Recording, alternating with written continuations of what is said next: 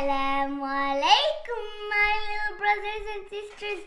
Welcome to our channel with Ryan and Ridwan. Today, uh, it's the last episode of Adam salam, part 6 and 7.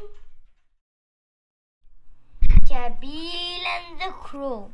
His lure in Surah Al Ma'idah, num- number 5, verse 30, it says, His lower self pursued him to kill his brother.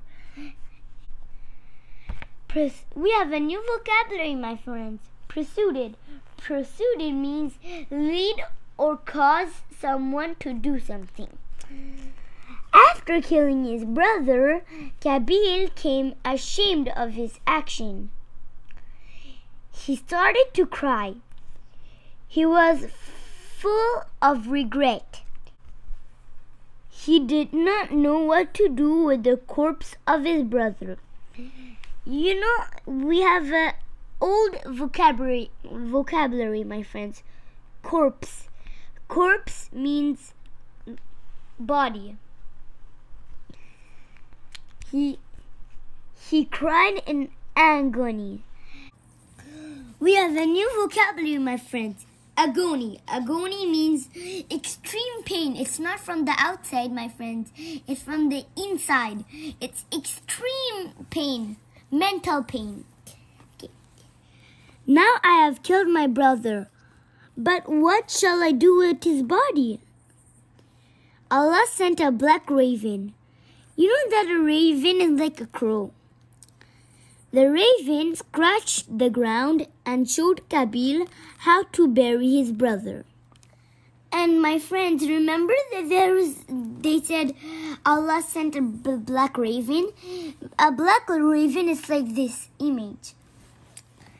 Woe is me, cried Kabil helplessly. We have a new vocabulary, my friends. Woe. Woe means great sorrow or distress. I am worse, even worse than this raven, or can not hide my brother's dead body. Kabil felt his meanness all the more so because even a raven could teach him a lesson. When one does things in a rage, everyone knows rage means you're extreme mad. It results in humiliation, shame, and disgrace. One should not fly into a rage and must fear Allah.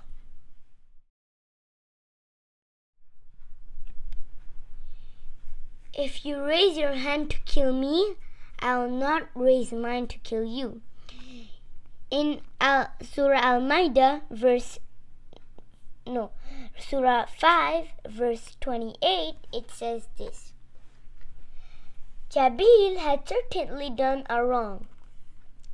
He had committed a great sin. He killed a person that to his own brother without any reason. He had no fear of Allah. Allah was certainly not happy with Kabil. Allah is happy with those who fear Him. Allah does not like it when we fight and harm others. The story of Kabil and his brother. Habil teaches us to us that the two believers should never fight with each other.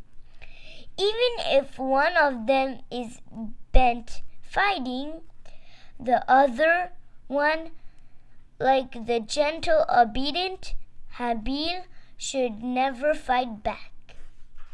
See you next time with another content. Allah Hafiz. Jazakallah.